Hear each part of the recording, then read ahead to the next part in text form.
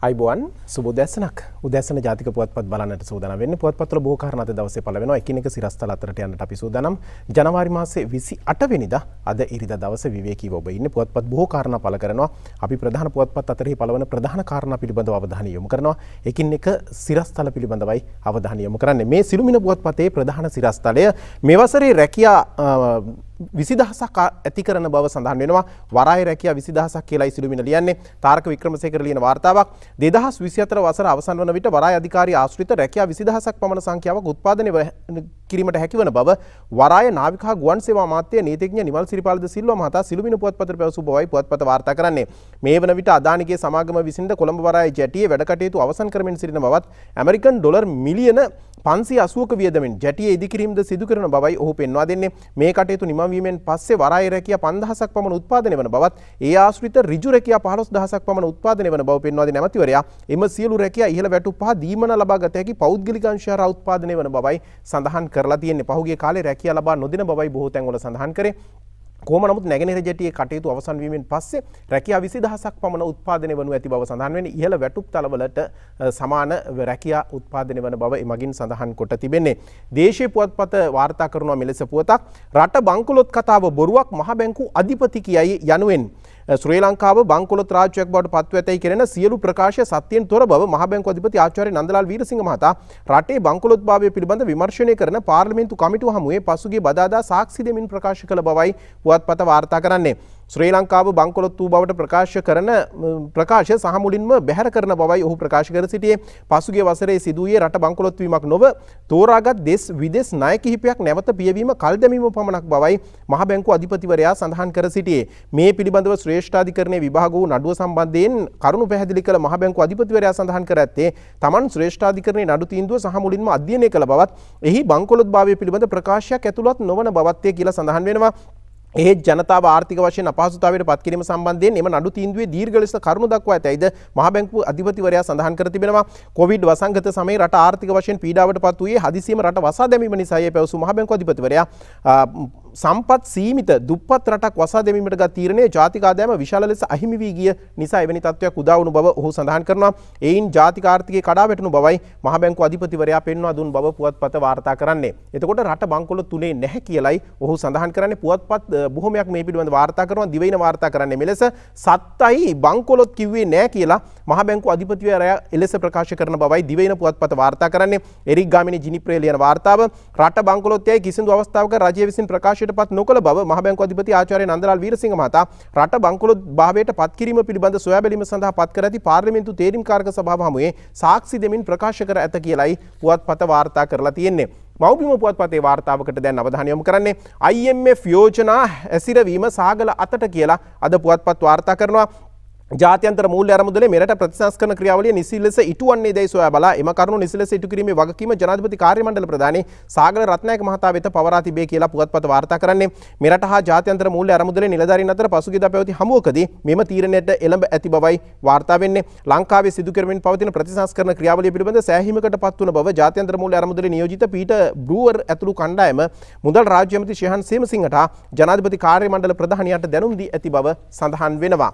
මේ ලංකාදීප පුවත්පතේ ප්‍රධාන සිරස්තලය. මාර්ගගතවල ක්‍රමවල සුරක්ෂිත භාවය පිළිබඳ පනත් කෙටුම් පත ගෙවුණු විසි හතර වෙනිදා පාර්ලිමෙන්තුවේ සම්මත වුණා.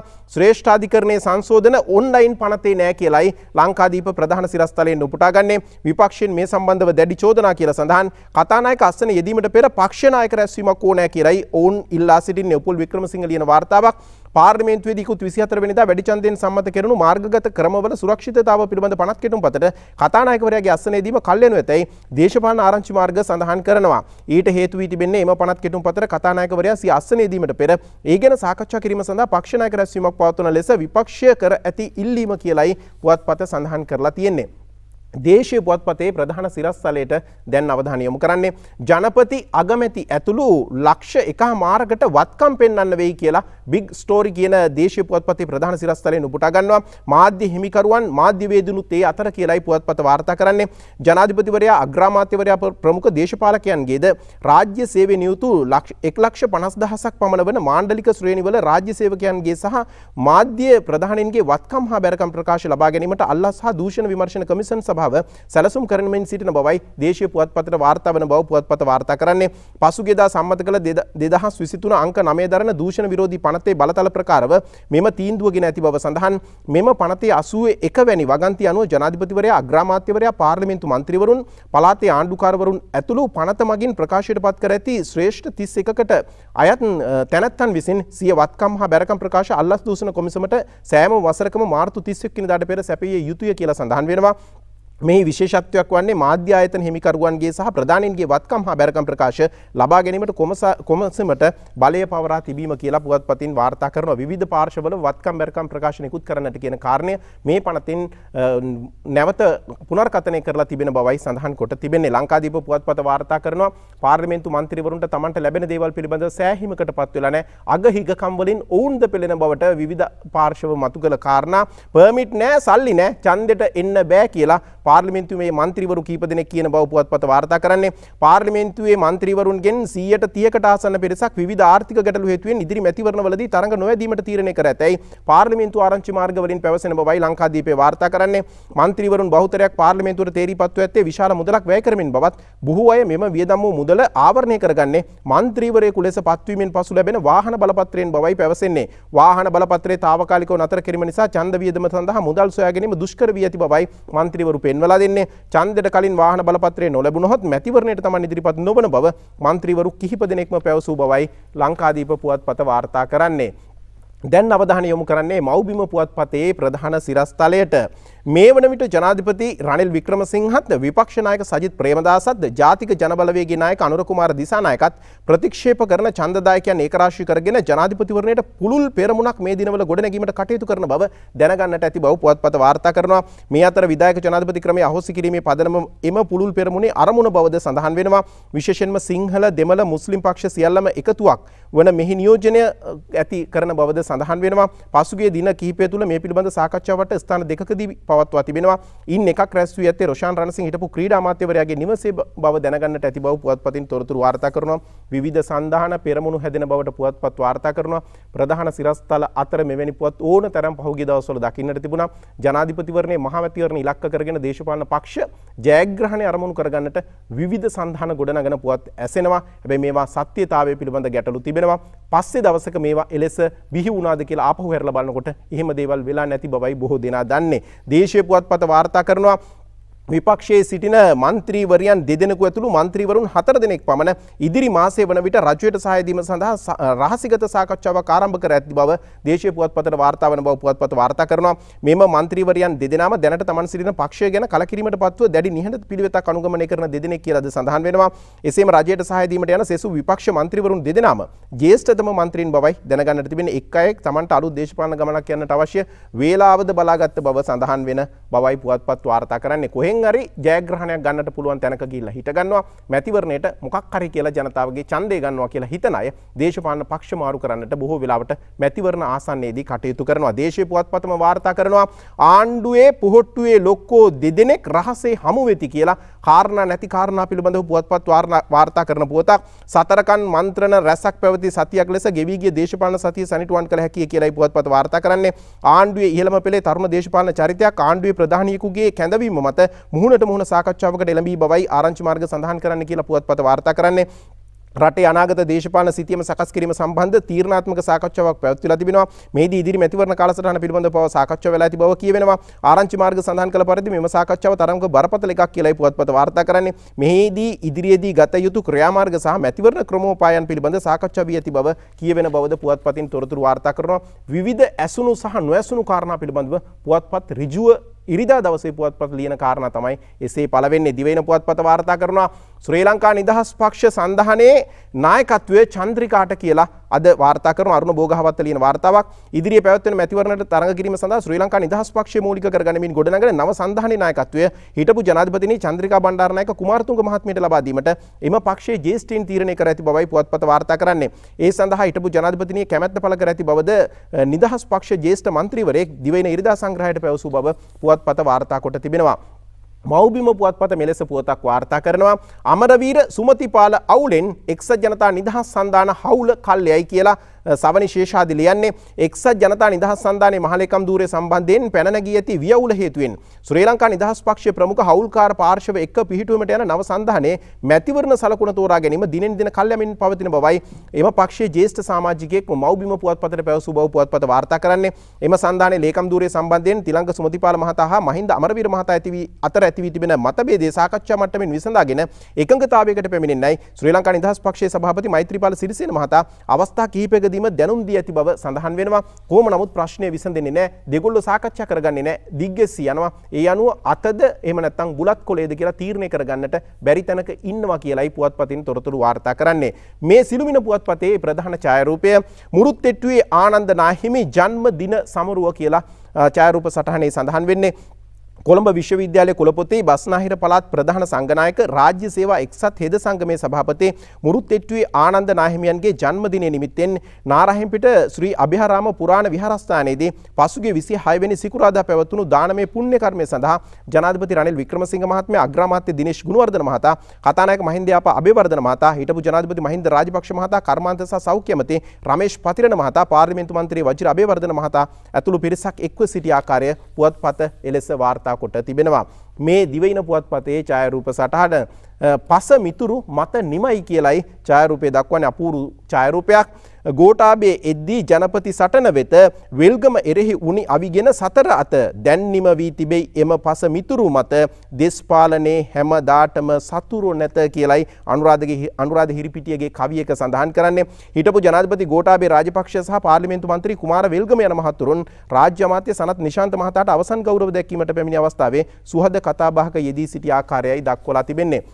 කුමාර වෙල්ගම් මහත්මයා 2019 ජනාධිපතිවරණයේදී කිව්වේ ගෝඨාභය මහත්තයාට මේ වැඩේ බාර දෙන්න එපා. ඒකට මම විරුද්ධයි කියලා ඒ හිටපු සන්ධානෙන් ඔහු ඉවත් වෙලා යනවා. හැබැයි පස්සේ මේ මලගෙදරක වගේ තැනකදී සාමාන්‍ය මිනිස්සු හමු වෙන එක සාමාන්‍ය ලංකාවේ ඕනම තැනක සිරිතක්. සිළුමින පුවත්පත වාර්තා කරනවා රාජ්‍ය ඇමති සනත්ගේ අවසන් කටයුතු ඉරිදා කියලා සුරේකා නිල්මෙන් ඊළඟ කෝන් ලියන වාර්තාව කටුනායක කොළඹ අධිවේගී මාර්ගයේ මාර්ග රියනතුරකින් අභාව ප්‍රාප්ත වූ ජල සම්පාදන රාජ්‍ය ඇමති සනත් නිශාන්ත පෙරේරා මහතාගේ අවසන් කටයුතු අද පුත්තලම පුත්තලම රාජ්‍ය කඳලුව කතෝලික සුසාන භූමියේදී සිදු කෙරෙන බවයි සඳහන් වෙන්නේ. අවසන් ගෞරව දැක්වීම සඳහා දේහ පුත්තලම ආරච්චි කට්ටුවේ පිහිටි රාජ්‍ය ඇමතිවරයාගේ නිවසේ තැන්පත් කර තිබෙනවා. මේ යන විට 48 වෙනි වියේ පසු වූ සනත් නිශාන්ත පෙරේරා සිව්දරු පියෙක් කියලයි පුවත්පත් වාර්තා කරන්නේ. සිළුමින පුවත්පතේම වාර්තාවකට අවධානය යොමු කරන්නේ අධිවේගී මාර්ගවල අනතුරු වැළැක්වීමට විශේෂඥ කමිටු රැස්වීමක් සඳුදා දවසේ පවත්වන්නට සූදානම් බව වාර්තා වෙනවා.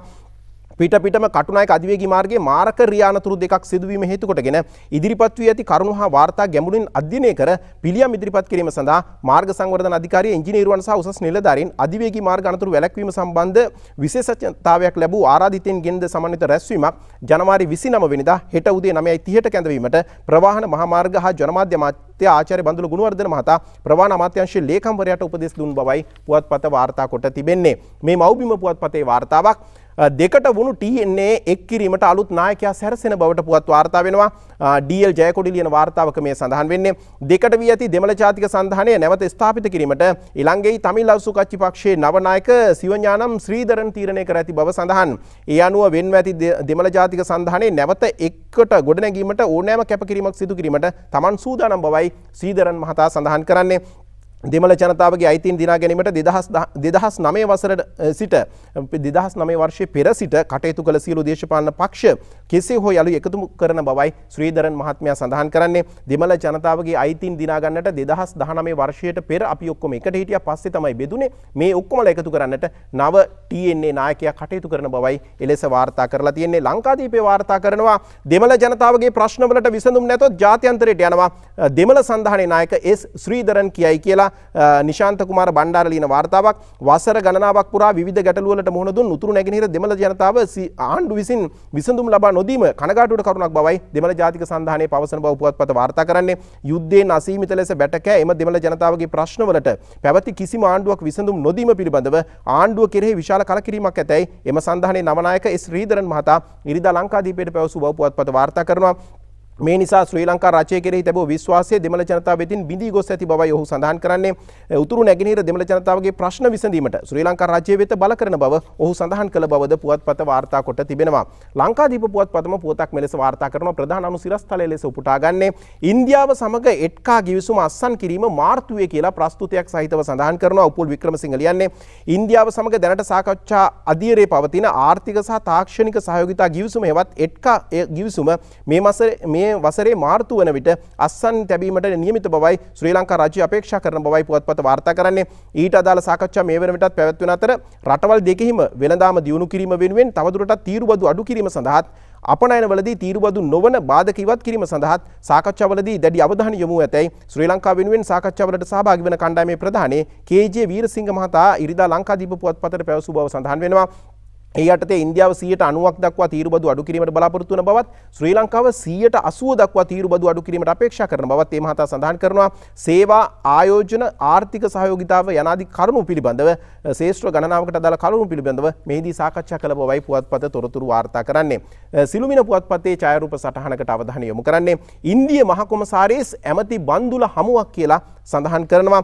ඉන්දියාවේ 75 වන ජනරජ දිනය සමරමින් ඉන්දියානු මහ කොමසාරිස් කාර්යාලය විසින් සංවිධානය කළ ලද ශ්‍රී ශ්‍රිංගාර් අෂ්ටවිද සම්භව්‍ය ඉන්දියානු නර්තන සම්ප්‍රදායන්ගේ සුසංයෝගය ප්‍රසංගයේ පසුගියදා බණ්ඩාරනායක සම්මන්ත්‍රණ ශාලාවේදී පැවැත්වුණා. එම ප්‍රසංගයේ ප්‍රධාන ආරාධිතයා ලෙස සහභාගී වුණේ ජනමාධ්‍ය මන්ත්‍රී බන්දුල ගුණවර්ධන මහතා, ඉන්දිය මහ කොමසාරිස් සන්තුෂ් ජා මහතා සමග පිළිසඳරගේදී සිටින ආකාරයයි ඡායාරූපයේ ලෙස දක්වා තිබෙන්නේ. ඉන්දිය නව මහ කොමසාරිස්වරයා ලංකාවේ සාමාන්‍ය කටයුතු වලට එකතු වන ආකාරය එමගින් පෙන්වා දී තිබෙනවා.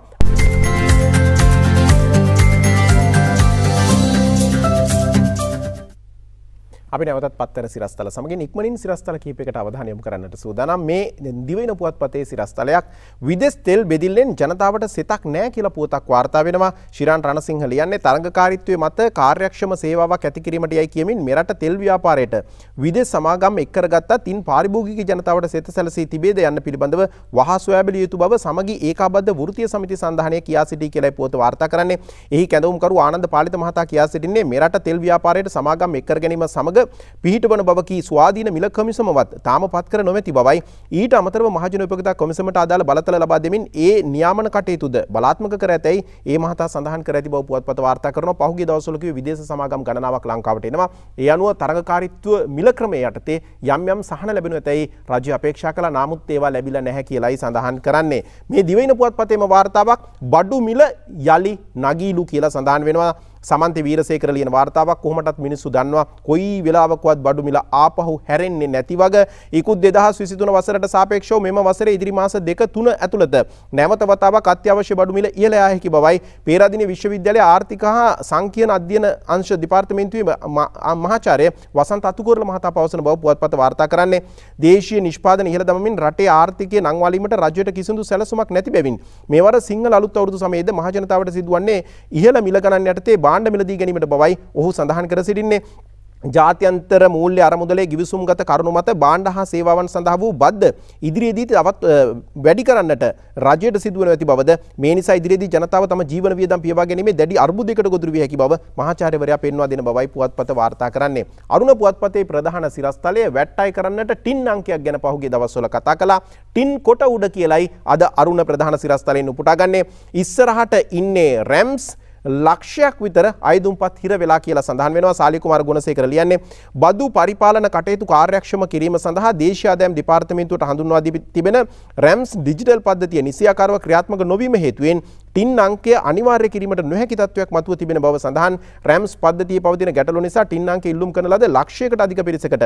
එම අංකය නිකුත් කිරීමටද නොහැකි තත්ත්වයක් උද්ගත ව ඇතැයි දේශීය ආදායම් දෙපාර්තමේන්තුවේ සහ මුදල් අමාත්‍යාංශයේ ආරංචි මාර්ග සඳහන් කරන බව පුවත්පත වාර්තා කරනවා. අරුණ පුවත්පත පුවතකින් මෙලෙසම වාර්තා කරනවා CCTV දඩ සමග RMV එක බිසි වෙලා කියලා සඳහන් එස් අස්ලම් ලියන වාර්තාවක්. කොළඹ රථවාහන වැරදි කරන රියදුරන් ආරක්ෂිත කැමරා මගින් හඳුනාගෙන නීතිය ක්‍රියාත්මක කිරීමත් සමග මෝටර් රථ ප්‍රවාහන දෙපාර්තමේන්තුවේ කටයුතු 100ට 500 ගුණයකින් වැඩි වී ඇති බව සඳහන්. කොළඹ මාර්ගවල වැරදි කරන රියදුරන් හඳුනාගෙන ඔවුන් කරන ලද වරද වාහනේ ලියාපදිංචි සහතිකය ඇති හිමිකරු හට දඩ නිකුත් කිරීම හා නඩු පැවරීමට පියවරගෙන ඇත්තේ පසුගිය 20 22 වෙනිදා ඉඳලා කියලා සඳහන් කරනවා. ඒ අනුව වාහනේ පදවන කෙනයි වාහනේ දැන් හිමිකරුවයි වාහනේ නිත්‍ය හිමිකරුවයි බොහෝ වෙනස් කියලයි සඳහන් වෙන්නේ. ඒ නිසාම ඔවුන් යනවා RMV එකට ගන්නට වාහනය හරවගන්නට ඒ නිසා RMV එක මේ දවස්වල බිසි කියලයි සඳහන් වෙන්නේ. මේ දිවෙන පුවත්පතේ වාර්තාව කුලී ගෙවල් වලට බිල්ලන්ගේ බැල්ම කියලා අද නෝමන් පලියවඩන ලියන වාර්තාවක සඳහන් වෙනවා. මේ දිනවල විශාල මුදලක් ගෙවා නිවෙස් කුලියට ගැනීමට පැමිණෙන පුද්ගලයන් පිළිබඳ දැඩි සැලකිල්ලෙන් පසුවන ලෙස අපරාධ දිශාවභාර නියෝජ්‍ය පොලිස්පති සහ පොලිස් මාධ්‍ය ප්‍රකාශක නිහල් තල්දුව මහතා නිවෙස් අයිතිකරුවන්ගෙන් ඉල්ලීමක් කර ඇති බව සඳහන් වෙනවා. පාතාල වැටලීම් සිදුවන නිසා සමහර අය ගෙවල් මාරු කරනවා. වෙන වෙන තැන්වලට ගිහිල්ලා කිව් ගානටම ටක් ගාලා සල්ලි දීලා ගෙවල් කුලියට ගන්නවා. මේ අය පිළිබඳ සැලකිල්ලක් දක්වන්න කියලායි කියන්නේ. අපරාධ කරලා ස්ථානය වෙනස් කර ගන්නට ඇවිල්ලා මේ විදියට රැඳී ඉඳී කියලයි ඔහු සඳහන් කරන්නේ. දිවයින පුවත්පතේ ප්‍රධාන සිරස්තලය ඕඩරය පාතාලයෙන් වෙඩිල්ල කඳවුරෙන් කියලා සඳහන්. නාදුනන වෙඩික්කරු ගැන ඔත්තුවක් කියලයි අද දිවයින ප්‍රධාන සිරස්තලෙන් උපුටාගන්න හේමන්ත රන්දුනු ලියන්නේ පාතාල සන්නද්ධ කණ්ඩායම් විසින් සිදු කරන මිනිස් ඝාතනවලට සක්‍රීය සේවයේ යෙදී සිටින ආරක්ෂකංශ සමාජිකින් කුලී ඝාතකයින් ලෙස යොදා ගැනීම මේ වන විට බහුල වශයෙන් සිදුවන බව පොලිස් විමර්ශන වලින් හෙළි වෙලා තිබෙනවා. ඇතැම් ආරක්ෂකංශ සමාජිකින් රාජකාරී වේලාවේ පවා සිය කඳවුරු වලින් පිටතට පැමිණ සිය රාජකාරී ගිනි අවියෙන්ම කොන්ත්‍රාත් මිනිමැරුම් සිදු කර ඇති බවද මේ වන විට අනාවරණය වී ඇති බවයි සඳහන් වෙන්නේ. බරපතල තත්ත්වයක් සල්ලි හොයන්නට සාමාන්‍ය සෙබළු බව එළියට ගිහිල්ලා මේ කල්ලිත් එක්ක එකතු වෙලා මිනිස් ඝාතන සිදු කර ඇති බවට තොරතුරු වාර්තා වෙලාලු මේ ලංකාදීප පුවත්පතේ වාර්තාව රටේ අල්ලස දූෂණය වැඩියෙන්ම සිදුවන ආයතනය ලෙස ශ්‍රී ලංකා පොලිසිය හඳුනාගෙන ඇති බව පේරාදෙණිය විශ්වවිද්‍යාලයේ ආර්ථික විද්‍යාංශයේ මහාචාර්යවරුන් දෙදෙනෙකු කළ සමීක්ෂණයකින් තොරතුරු අනාවරණය වී ඇති බව පුවත්පත වාර්තා කරනවා. මීළඟට පාර්ලිමේන්තුව සහ පුංචි ආණ්ඩු මන්ත්‍රීවරු ඉදිරියෙන් කියලයි පුවත්පත වාර්තා කරන්නේ අල්ලස සහ දූෂණයෙන් පොලිසිය මුලට දෙවැනි තැනට පාර්ලිමේන්තු මන්ත්‍රීවරු සහ පුංචි ආණ්ඩුවල මන්ත්‍රීවරු ඉන්න බව සඳහන් වෙනවා. අරුණ පුවත්පත වාර්තා කරනවා දියවැඩියා රෝගීන්ට භාවිතා කිරීම සඳහා කුරුදු වලින් සකස් කරන ලද කැප්සූලයක් කාර්මික තාක්ෂණ ආයතනය විසින් නිපදවා ඇති බව සඳහන් වෙනවා. මෙවැන්නක් ලොව නිපද වූ පළමු වතාව මෙය කියලයි සඳහන් වෙන්නේ. කාර්මික තාක්ෂණ ආයතනය කොළඹ විශ්වවිද්‍යාලය එහි වෛද්‍ය පීඨයේ එක්ව කරන ලද පර්යේෂණ මගින් මෙම කැප්සියුලය නිපද වූ බවයි කාර්මික තාක්ෂණ ආයතනයේ සභාපති මහාචාර්ය එස් ප්‍රේමකුමාර මහතා පැවසු බව පුවත්පත සඳහන් කරන්නේ. සීනි බස්සන කුරුඳු කරලක් කියලයි එලෙස සඳහන් කරලා තියෙන්නේ. අරුණ පුවත්පතම වාර්තා කරනවා පාසල් දිවා ආහාර වේල රුපියල් 30කින් තර වෙයි කියලා. නිවන්ත මදුරාවල ලියන වාර්තාවක් පාසල් දරුවකුගේ ආහාර වේලක් වෙනුවෙන් දැනට ගෙවන රුපියල් 85ක මුදල රුපියල් 115 දක්වා වැඩි කිරීමට අධ්‍යාපන අමාත්‍යාංශයේ අවධානය යොමු වෙලා තිබෙනවා. අමාත්‍යංශය මේ පියවර මෙම පියවර ගනිමින් පවසන්නේ දැනට ගෙවන මුදල තවදුරට දිවාහර ගැනීමට නොහැකි බව සැපයුම්කරුවන් දැනුම් දී ඇති බව රුපියල් 85කින් නෙමෙයි 115 කිනුත් මේ දවස්වල කරන්න දෙයක් නැහැ. කොහොම නමුත් ගාන රුපියල් 30කින් වැඩි කරලා කියලා සඳහන් වෙනවා. මේ අරුණ පුවත්පතේම වාර්තාවක් 76 වෙනි නිදහස් උළෙල හමුදා උත්තමාචාරවලට පමණක් සීමා වන බව සඳහන් සාලිය කුමාර ගුණසේකර ලියන්නේ මෙවර 76 වෙනි ජාතික නිදහස් උළෙල සංස්කෘතික අංගවලින් තොරව ත්‍රිවිධ හමුදා උත්තමාචාරවලට පමණක් මුල් තැනදී පැවැත්වීමට කටයුතු ද ඇති බව සඳහන් වෙනවා. හදමු අලුත් රටක් යන තේමාව යටතේ මෙවර නිදහස් උත්සවය පැවැත්වීමට නියමිතයි. එමෙන්ම මෙවර නිදහස් උළෙල සඳහා රුපියල් කෝටි 20ක මුදලක් රජය වෙන් කර ඇති බව සඳහන් ගිය වසරේ කෝටි 37ක මුදලක් වෙන් කළා. මේ වසරේ කෝටි 20 දක්වා ඒ අඩු කර ඇති බවයි පුවත්පත වාර්තා කරන්නේ. මේ මව්බිම පුවත්පතේ වාර්තාවක් හැත්තෑ හයවැනි නිදහස් සැමරුමට මෙදා ආරාධිතයා තායිලන්ත අගමැති කියලා අමිත් මදුරංග ගමගේගේ වාර්තාවක සඳහන් වෙනවා. මෙවර හැත්තෑහවෙනි නිදහස් සමරුලේ ගෞරවනි ආරාධිතය ලෙස තායිලන්ත අග්‍රාමාත්‍ය සේත්‍රා තැවසින් සහභාගවීමට නියමිත බවයි පුවත්පත වාර්තා කරන්නේ. තැවසින් පෙබරවාරි තුන්වෙනිදා ලංකාවට පැමිණෙන අතර ශ්‍රී ලංකා තායිලන්ත නිදහස් වෙළඳ ගිවිසුම අත්සන් කිරීම ඔහුගේ පැමිණීමේ තවත් එක් අරමුණක් කියලා සඳහන් කරනවා. ජනාධිපති රනිල් වික්‍රමසිංහ මහතාගේ ආරාධනයෙන් මේ ගෞරවනීය සම්භාවනීය ආරාධිතයා දිවයිනට පැමිණෙන බවයි පුවත්පත වාර්තා කරන්නේ. දිවයින පුවත්පතේ කතුවරයා අද මෙහෙමයි ලියන්නේ.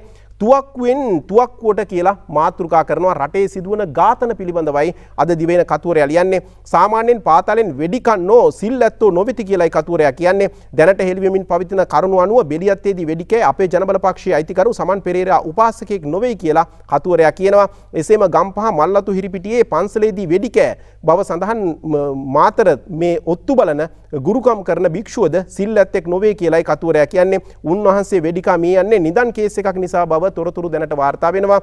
මේම බලාගෙන ගියාම එක එක අය මිය යන්නේ සාමාන්‍ය සිද්ධි නිසාම නෙවෙයි විවිධ ගණයේ අපරාධ කරපු පාර්ශව කියලායි කතුවරයා කියන්නේ අවුරුදු 2500ක් නිරවුල් ඉතිහාසයක් මේ රටට තිබිලා තියෙනවා. හැබැයි මේක අද වෙනස් වෙලා මේ වෙනස් වෙච්ච තරම කොයි තරම්ද කියනවනම් හැමතැනම වෙඩි තියාගන්න තැනටපත් වෙලා කතුවරේ අවසාන වශයෙන් මෙලෙස කියනවා මේ භයානක මිනිමරු තත්ත්වය අප පිටු දකින්නේ කෙසේද කියන කාරණයට ඔබත් මාත් කවුරුත් හිර වෙලා ඉන්නේ. නිතර මරණ බයෙන් ජීවත් වුණ ජනතාවක් සිටින රටක් දියුණුව කරා යන්නේ කොහොමද? මේක විසඳ ගන්නට ඕනේ. හැබැයි උපාසකලා කරලා මේක කරන්නටත් බෑ. මේවා තුවක්කුවෙන්ම විසඳ ගන්න තැනටත් පත් කරන්නට වෙනවා. ඔවුන්ට දැඩි දඬුවම් දෙන්නට ඕනේ කියලායි අද දිවයින කතුවරයා කියන්නේ. දවසේ කාටුන් කාටුන් කීපයකට දැන් අවධානය යොමු කරන්නේ ජයරත්න වික්‍රමසිංහගේ රුවිතන් කාටුන් එක දිවයින පුවත්පතේ අර පස් දෙනෙක් මරපු වෙඩික්කාරයා ඉලක්කයට වෙඩි තියන්න පුළුවන් හොඳ පළපුරුදු වෙඩික්කාරයෙක්ලු කියලා මිත්‍රයා කියනවා. ඒකට පොලිසිය ඉන්නේ ඉබේට පත්වෙන වෙඩික්කාරයෝ කියලායි මිත්‍රයා කියන්නේ පන්නල පැත්තේ සිද්ධියකදී එහෙමයි උනේ. මේ ලංකාදීප පුවත්පතේ දාස හපුලානගේ අඳින තොප්පි කාටුන් එක පනත සම්මත කරගත්තා. දැන් නිර්වත පෙන්නන එක නවතී කියලයි මාර්ගගත ක්‍රමවල සුරක්ෂිතතාවය පිළිබඳ පනතේදී බොහෝ අය සඳහන් කරේ. සර් ළඟද කියලයි තොප්පි නම් අහන්නේ.